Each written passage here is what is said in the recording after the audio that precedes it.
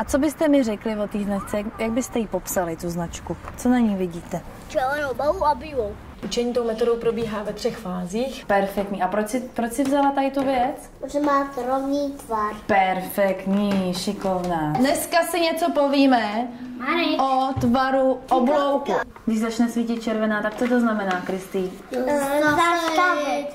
Tady ta metoda mi pomáhá v tom, že poměrně rychle a snadno se ty děti eh, naučí víc věcí za krátkou dobu.